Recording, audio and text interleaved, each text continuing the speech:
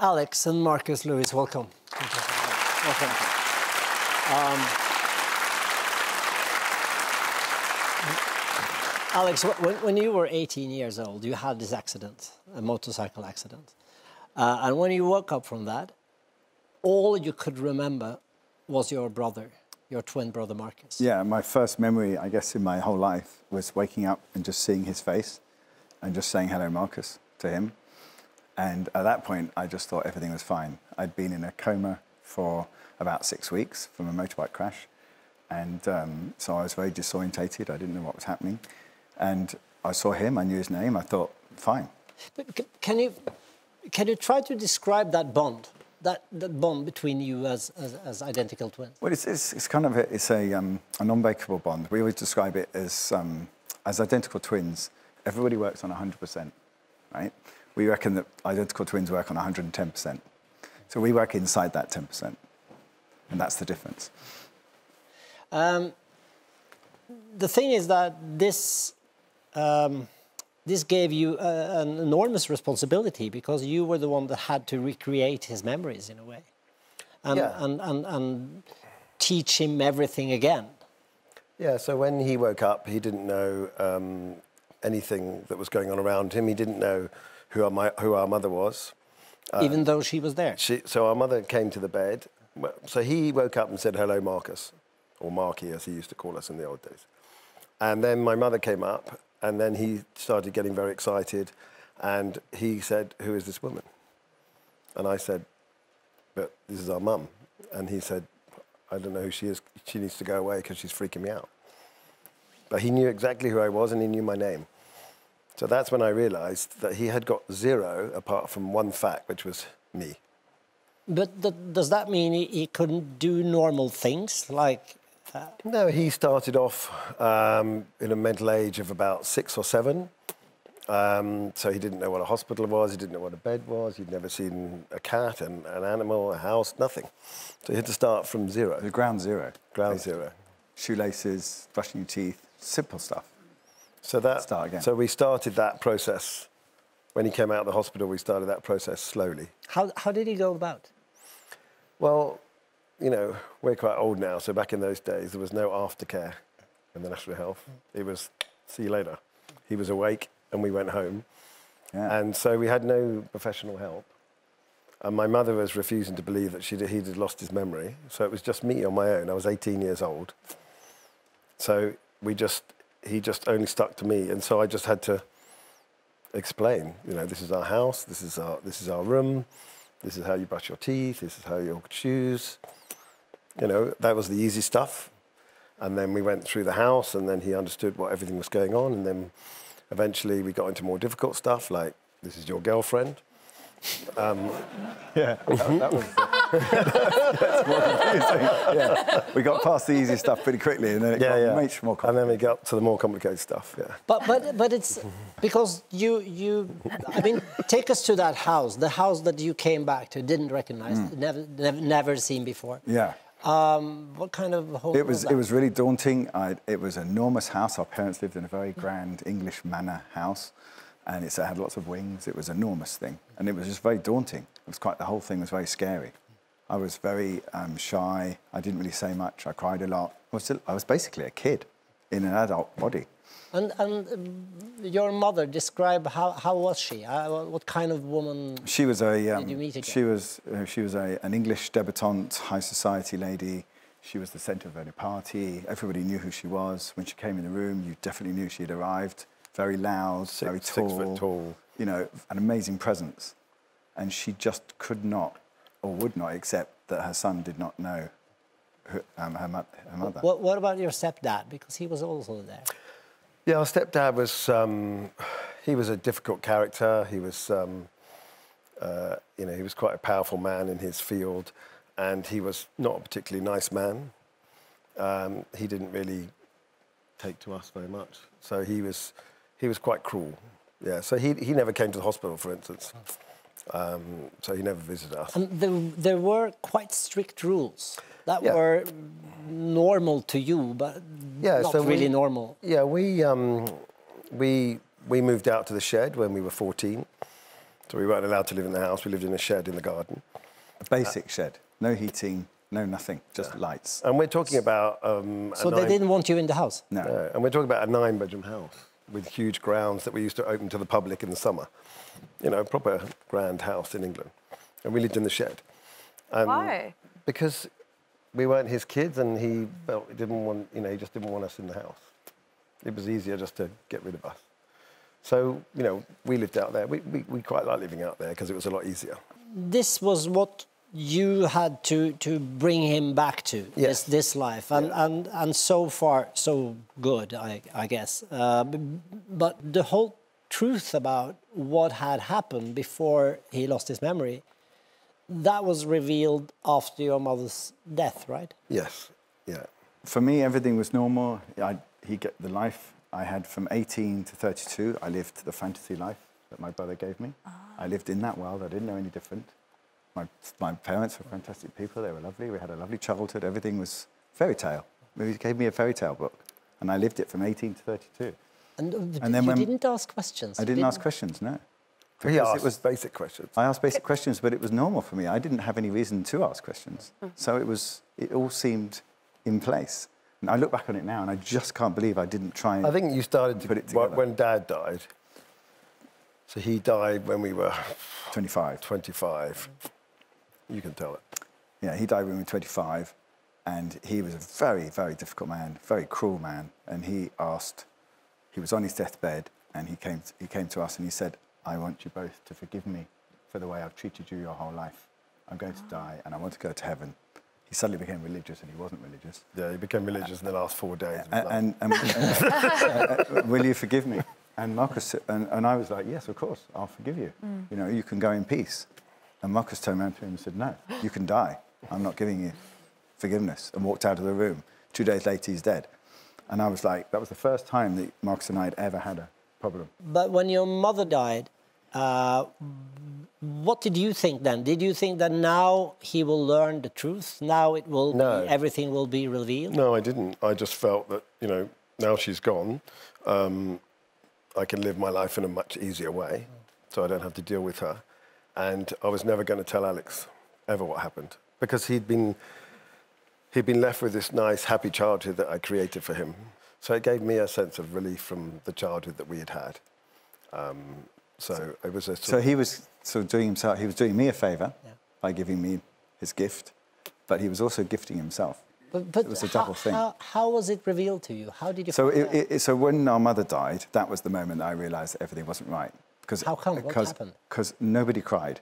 No one cried. Our brothers, our sisters, no one cried. I was the only one crying. She just died, and I suddenly thought, "Whoa, whoa, whoa! Hang on a sec. What is happening here?" And that's I started thinking, and it, it really troubled me. So I started working, looking at things, and asking more questions, and then we started But sorting then we, the house out. th- then we started to clear out the house, um, and then we started finding strange things in the house, which Alex was struggling to accept. What kind of what things was doing. that? So the, the, we found lots of odd things and sex toys and some, some weird stuff going on. And, it's, and I'm starting to get more and more sort of freaked out by it. All our, all our birthday presents we found in the loft. Every present that we'd ever given to us by all our godparents, grandparents, everything. Cards with money in wrapped it. up. You never saw the gifts? No. Never saw the gifts. Still all the money still in the envelopes. One pound, two pounds. Amazing. She never gave them to us. It's all still there. So we found all of that, which was kind of quite strange. That was itself. really strange. And then, it, and then we opened up this, um, the back of a cupboard, there was another little small cupboard inside. And we found, went inside there, and I can't remember which one of us did it, but we basically opened this drawer, and there was a, a photograph in there of us two, age 10, naked, with our heads cut off. And now my whole world has just changed in an instant. So, so So I'm getting the heads, the heads were cut off of, of the picture. of the picture. And now I'm thinking, whoa, whoa, this lady is way more complicated than I have been led to believe. Hmm. Who the hell is she? And what is this about?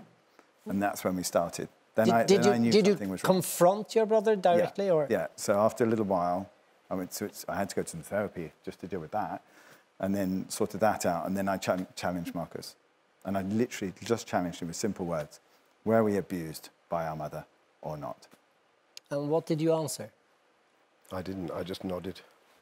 He just nodded. It was just, well, it's a moment that we'll never too forget. Because your your world fell apart in a way also. Everything. You know, you have a choice in life. You can decide to tell a lie, which is quite a big thing to do to your brother, um, or give him the truth. So for me, I created a life for both of us. Were you angry at him? Yeah, really angry. Yeah, yeah, really was. I mean, he, he didn't want to say anymore, right? He couldn't say anymore because he, the game was up. He'd been caught out. The lie was over. I was furious. The one person I trusted in my entire life, the only person I Yeah. trusted, had lied mm. to me and had been lying for over a decade. At that moment, I was on my own. And For the first time in your life. first really. time in my life, I was on my own, and I just didn't know. I didn't have any emotions or, or, or know how to get to the next stage. But did you did you want to know more? Did you want to I find wanted, out? I wanted to know everything. How long did it take?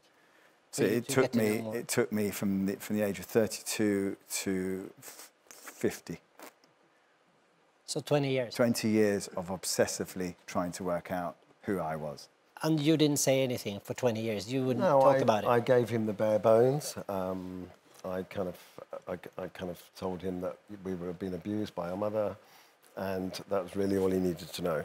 How was the relationship between you We went, those years? we, we went, we went back to 100%, minus the 10%. Yes, that's the thing. So we got back together. I was very angry with him, obviously, for a while, but within a few short Well, months, when we say a while, a few months. a few months. I mean, we're twins. Let's not get. Some people would take years to do that. We did that in a few months. Yeah. Even a story as big as that. So in a way, you accepted that he didn't want to talk Yeah, about it. yeah, Yeah. yeah. What, what, what do you know today? So I learned a lot more that we were definitely, our, our mother was a, a serial paedophile and she used all her own children to do that with um, for her own gratification. And she then went on to handing her children out. She ran a ring, a paedophile ring, and she used her children to supply that ring. For she was a very wealthy individual. We can't think it was for money. We'd have no idea what the motivation of all that was. But that's what she did. So we were abused by her friends, men, So this, this, was, this became a part of her social life. became a part of her social life. She would deliver us to someone's house, have, have drinks, have a glass of wine, and leave us there. And, and you, you just know this, you remember it. Yeah, for me, it's a story. Yeah, exactly. For him, it's real. I mean, I, I had no intention of really telling Alex the whole thing. Um, and then in the documentary that we made, I had, we'd been doing the shooting for 10 days, and we got to know the director for five years before, the, before we started shooting. He spent five years getting us on side. Then when he was doing the shooting, he kept asking me, so what really happened? What really happened? And he's a very good director, and he just kept asking me, and I kept saying, well, why do you want to know? And then something snapped in me, and I just said, fuck it, I'm going to tell you. So I told him straight to camera. And he asked me the next day whether I could do it again for Alex, and I said I couldn't do that. When did you realize that that's not normal? I was 14 years old. I was in, a, in London in a, in a strange guy's house. Uh, he was a, quite a famous artist. And I was in his four poster bed, and he started And touching it was me. just you, not your mother. She was not there. No, because our mother, she never took us together. She only took us on her own, and she'd always leave. And so I said, no, I don't want you to do this to me. I don't like this. Something snapped. Yeah, I was 14. I was a bit bigger. You know, I was a you know teenager. And I just said, no, this is not acceptable. Don't do this. And he got very aggressive, and I managed to get out of his room. Um, I managed to get out of his house. Um, I got into the street. I got down to the tube station, and in those days you could jump on the tube for free. So I jumped over the things. I got back to our village, and I walked home, and I got back into bed in, a, in, in our room. And I woke up in the morning, and I came out for breakfast, and my mum was super shocked to see me. I looked at her, she looked at me, and I went like that, and she knew that it was done. As in, no one's touching us. So that, did she stop as well then? Yes. I mean, everything stopped. She Everything that- stopped? Yeah. She knew that, that that was the end. Yeah. We didn't speak about it. I just gave her a look as to say, this is fucking over. Could you, I mean, you shared a room, you, you, you spent a lot of time together. Could you talk about it then? No. And I don't believe that any abused kids talk about it. We don't do it. And the thing that we all do is silence. All people who get sexually abused, who are watching this show, know that the biggest power that they have is fear and silence. And we're here doing breaking that. Oh.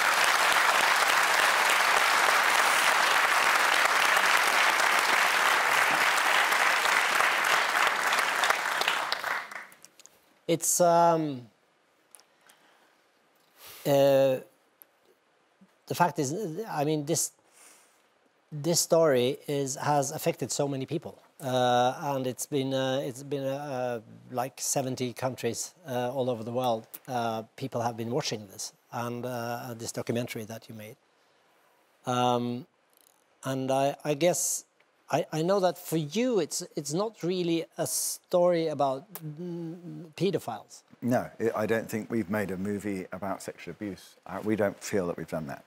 We feel it's a love story. It's a love story between two brothers, and it's about our life, and it's about how twins operate, and it's about our life. That happens to be a part of it.